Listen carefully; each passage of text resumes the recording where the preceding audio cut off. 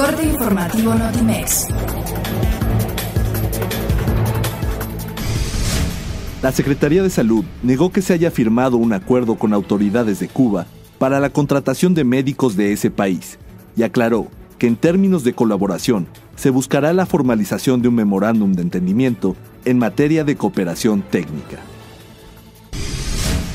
Los presidentes de Honduras, Juan Orlando Hernández, y de México, Andrés Manuel López Obrador, se reunirán a finales de este mes para abordar diversos temas, entre ellos el fenómeno migratorio, informó un comunicado de la Cancillería hondureña.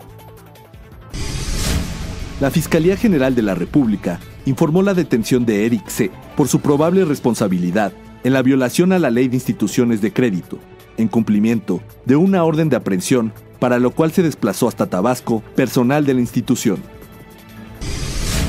Javier Cuello Trejo, abogado del exdirector de Pemex, Emilio Lozoya, advirtió que no permitirán, con la ley en la mano, que su defendido sea chivo expiatorio de la corrupción que hubo en la paraestatal durante la administración del expresidente Enrique Peña Nieto y aportará las pruebas necesarias. Como lo pidió en vida el cronista urbano y periodista Armando Ramírez, fallecido ayer a la edad de 67 años, fue despedido con un homenaje lúdico, sencillo y con música, en el Centro de Creación Literaria Javier Villaurrutia en la Ciudad de México. El gobernador de Nuevo León, Jaime Rodríguez Calderón, anunció que en octubre próximo desalojarán el penal de Topo Chico y lo convertirán en un parque. Mencionó que a la zona del penal también se trasladará el Archivo General del Estado.